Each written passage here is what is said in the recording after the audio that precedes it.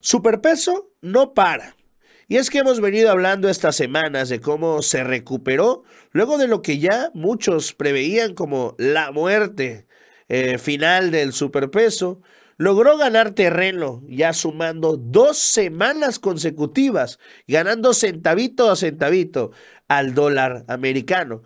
Esto y ahora, a pesar de que ya tenía dos días que coqueteaba con las eh, 17,50 unidades, hoy a pesar de que ha sido un poco más moderada la ganancia del peso sobre el dólar, se mantiene en las 17,48, lo cual pues es un muy buen índice, sobre todo encaminándonos en lo que va a ser pues un boom económico, el cual siempre se da a cierre de año, sobre todo con el pues ya el ya famoso o ya este tradicional evento del, del Buen Fin, del, que sería el similar al Black Friday allá en los Estados Unidos, lo cual eleva por completo las compras de las empresas y con este superpeso, pues crearía muchísima más derrama y sobre todo mejores oportunidades para todos los mexicanos que quieran comprar productos producidos fuera de nuestro país. De esto y más nos va a platicar Emilio Cepeda. Emilio, ¿cómo estás? Buen día.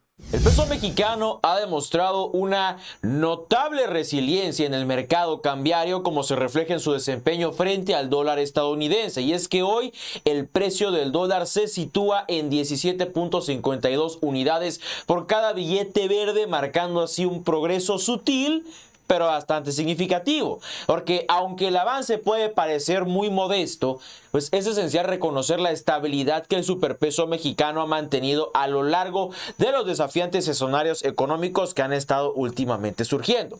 La reciente divulgación del informe de la inflación de octubre trajo consigo, pues ahora sí que cierta volatilidad en el mercado cambiario. Sin embargo, a pesar de las fluctuaciones momentáneas, el peso mexicano pudo mantener su posición y así estabilizarse de cierta manera, superando incluso las expectativas que tenía el mercado.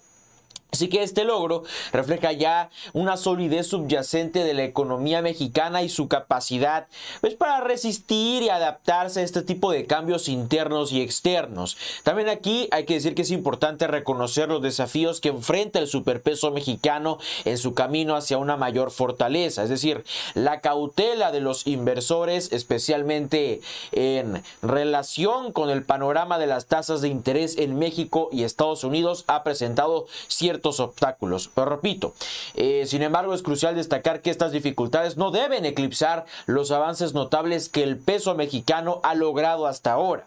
Y es que además la cautela eh, de los inversores también refleja la confianza en la economía mexicana a largo plazo. Para comprender eh, pues mejor la fortaleza del superpeso es esencial considerar los tipos de cambio ofrecidos por diversos bancos de México que ahorita los vamos a ver. Vamos a presentar una lista detallada en la nota que tienen ahí en pantalla de los precios del dólar hoy eh, que está grabando 9 de noviembre de 2023 en algunos de los bancos más destacados del país. Aunque las cifras pueden variar ligeramente, pues a fin de cuentas es bastante evidente que el peso mexicano se mantiene firme y muy atractivo en comparación con el dólar estadounidense. Bueno, vamos una vez. Bueno, aquí tenemos ya la nota.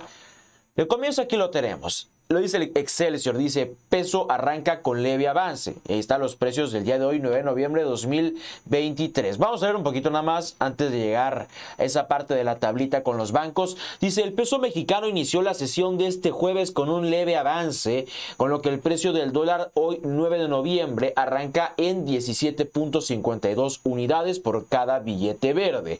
Va a conocer aquí cuál es el tipo de cambio en bancos de México. La divisa mexicana arranca el día con una ganancia de un 0.07% frente al precio de referencia del miércoles. Más temprano tuvo una breve caída antes de la divulgación del reporte de la inflación de octubre, pero se estabilizó luego de que las lecturas mensual e interanual superaron las expectativas del mercado. El peso mexicano ha tenido dificultades para volver a tomar fuelle y superar su promedio móvil de 100 días ante la cautela de los inversores por el panorama para las tasas de interés en México y Estados Unidos. Y aquí hay algo que dijo el grupo financiero Monex acerca del tema.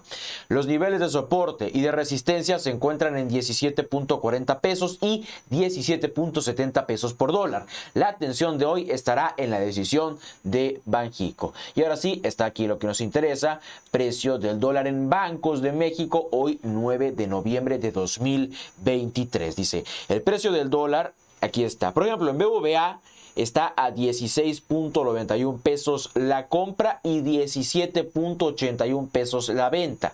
En Citibanamex 16.94 la compra, 17.98 la venta. Banorte 16.35 pesos la compra, 17.80 pesos la venta. Banco Azteca 17 cerrado, o sea 17.00 pesos la compra, 17.80 pesos la venta. En el caso de Inbursa 17.20 pesos la compra y 18.20 pesos la venta. Banca Afirme 16.50 pesos a la compra y 18. Eh, cerrado pesos a la venta y el caso de Scotiabank termina siendo eh, la compra la menor ya que está a 15.50 pesos y vean la diferencia de 15 pesos la compra a 18.50 pesos la venta. Si está bien que a la compra Realmente está muy bajo Scotiabank, pero a la venta 18.50. Pues bueno, y bueno, la última actualización de esta nota es tipo de cambio a las 8.15 horas. No, no tiene mucho que salió esta nota, pero a fin de cuentas se muestra el avance del superpeso mexicano, que repito, levemente avanza, pero se está reponiendo y los pronósticos apuntan a que va a seguir mejorando. Vamos a este lado para discutirlo un poquito mejor. Pues sí, ya que estamos hablando en ese tema, el 2023 ha quedado claro que ha sido un año desafiante en términos de la volatilidad a nivel mundial. Sin embargo, pues el peso mexicano sí ha demostrado una impresionante resistencia respaldado por una serie de factores clave que han contribuido a su fortaleza, ¿no? Sabemos que entre estos factores se incluyen la política monetaria prudente del Banco de México, la estabilidad macroeconómica, el crecimiento sostenido del Producto Interno Bruto y una gestión eficaz de las finanzas públicas. O sea, estos pilares fundamentales han jugado un papel crucial en el el mantenimiento de la solidez del superpeso mexicano a lo largo del año. El Banco de México ha implementado una política monetaria cautelosa y equilibrada con un enfoque en mantener esta estabilidad de precios y promover un crecimiento económico sostenible. Toda esta estrategia ha fomentado la confianza de los inversores en la moneda mexicana y ha sido fundamental para contrarrestar las presiones externas y así mantener el valor del peso mexicano en un entorno económico global que, repito, es desafiante la estabilidad macroeconómica ha sido otro factor crucial que ha respaldado la fortaleza del peso mexicano en el 2023. La gestión eficaz de las variables macroeconómicas como la inflación controlada, el equilibrio fiscal y la estabilidad del sistema financiero ha creado un entorno propicio para el crecimiento económico sostenido. Este crecimiento ha contribuido a consolidar la confianza en la economía mexicana y en el superpeso mexicano como una moneda estable y atractiva para los inversores. La gestión eficaz de las finanzas públicas ha desempeñado un papel crucial en la solidez del peso mexicano en el 2023. El compromiso del gobierno mexicano con estas políticas fiscales responsables también ha ayudado a mantener la confianza en la estabilidad y solvencia del país.